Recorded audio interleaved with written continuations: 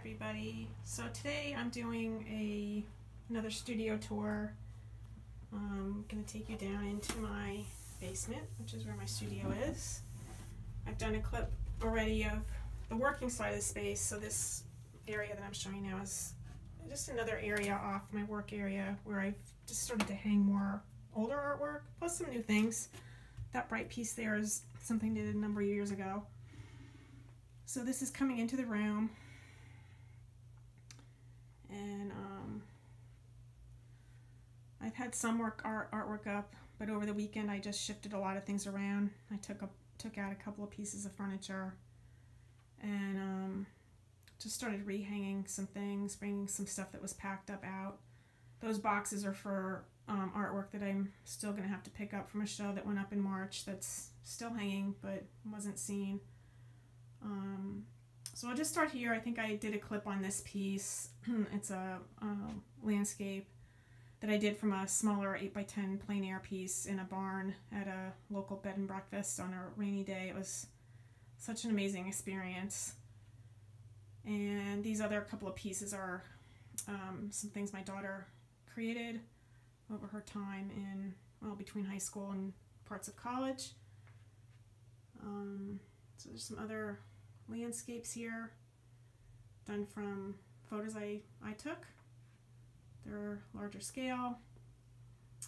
Uh, the shoes are my daughter's sneakers from when she was a little girl. I just was really inspired by them and their sweetness, their playfulness. And then the painting down below is of my sister. She was wading in a pool.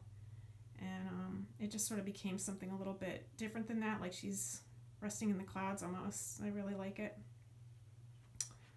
And then over here, I think I've shared this. This is a 30 by 30 inch still life.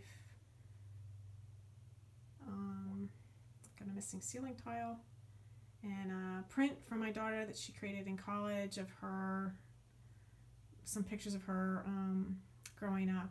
And she's a, currently a printmaker based out of Chicago.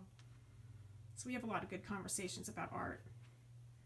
This is a um, rather realistic piece that I did on multiple small canvases and then cut them and mounted them onto a larger surface and framed it. And I call it Eggs a Story. It's a large piece and I don't know, it's fun painting eggs. They're very interesting. And then I have a little still life and another um, what I call similar in construction to the other piece. So this is the peonies um, painted on multiple small canvases, cut and then mounted into a larger a larger area, um, and then framed. Again, it was I call these um, what was I calling them? Oh my gosh, I'm forgetting right now.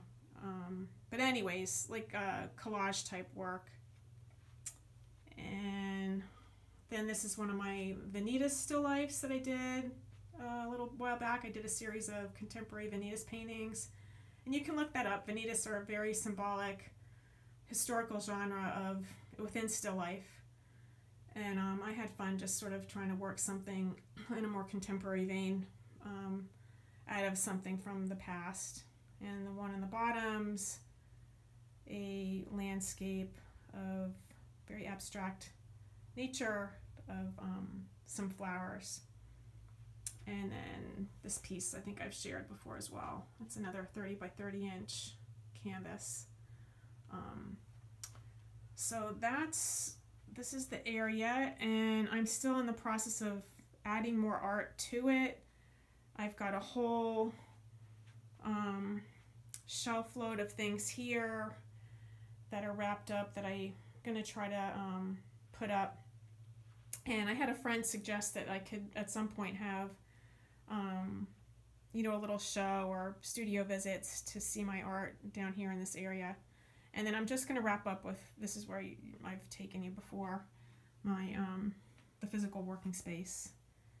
And I'm in the process on a, of a, on a new, I'll just end with this, um,